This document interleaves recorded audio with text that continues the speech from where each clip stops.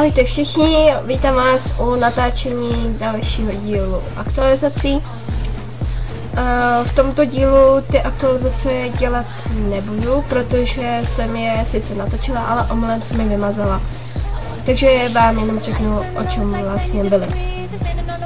Takže tedy, co se eh, dělo u Konráda.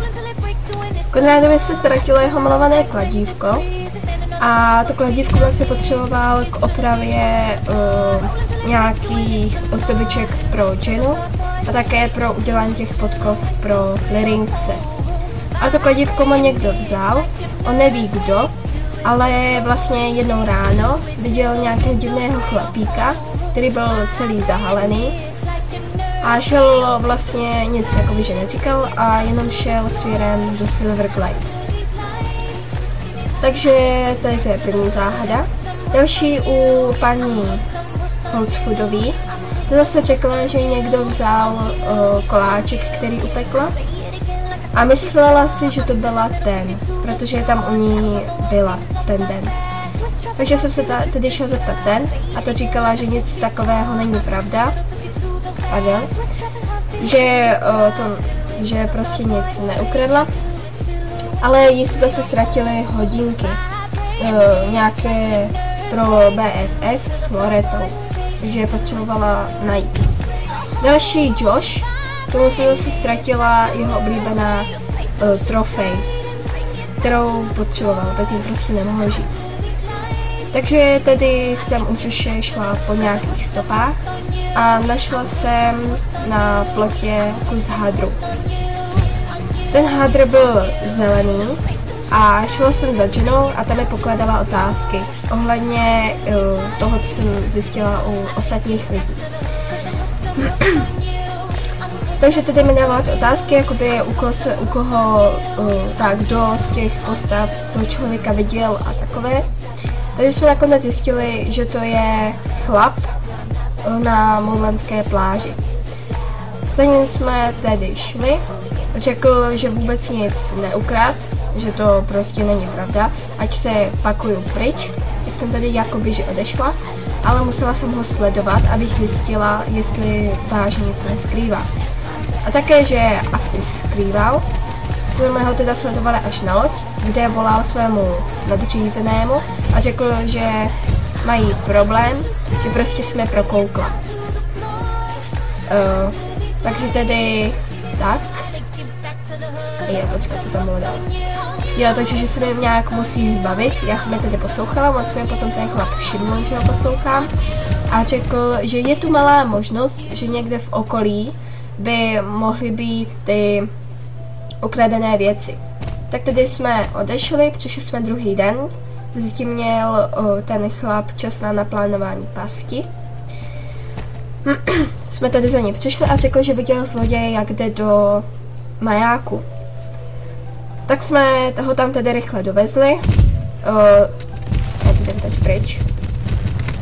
Ten chlap si vám musel sednout na koně. Foxík chudinka ho musela níst, takový těžký prase. K tomu majáku a ten chlap mi řekl, že až otevřu dveře, takže vlastně potom tam lítne na toho zloděje a nějak ho prostě zneškodní. Tak jsem tady otvírala, otvírala ale místo, aby skočil na zloděje, který tam vůbec ani nebyl, tak vlastně mi praštěl po hlavě.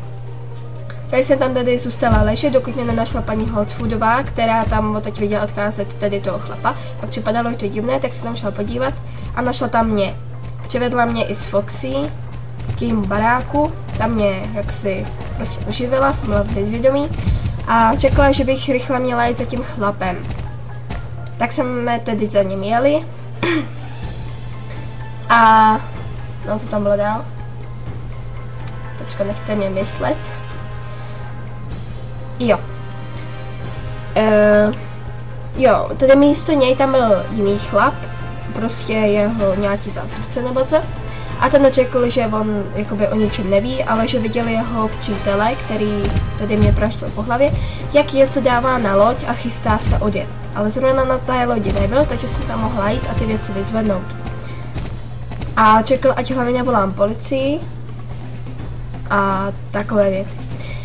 Takže to tedy bylo vše. Váže se omlouvám, že k tomu není video, ale nějak jsem si vám to pokoušela prostě ukázat, zase jste to pochopili. A tak se vám tady ještě jednou moc omlouvám a u příštího dílu ahoj!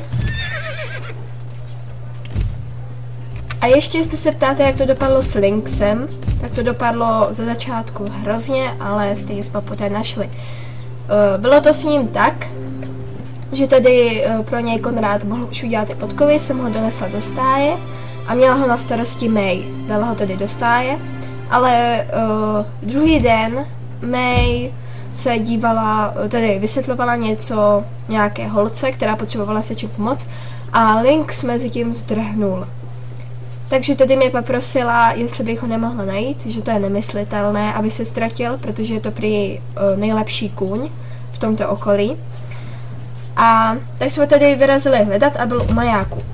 Ale nejdřív jsme museli s Foxy vymyslet, jak ho dostat zpátky do stáje.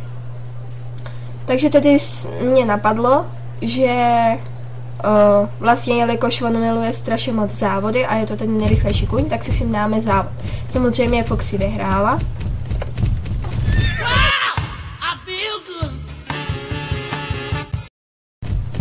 A byl tedy zpět. Jo a poté jsme ještě nakonec, jak jsme vrátili ty věci ukradené všem těm majitelům, tak jsme za to dostali odměnu takovou helmu od Jenny a poděkovala nám. Takže... Tak. A teď už vážně. Ahoj.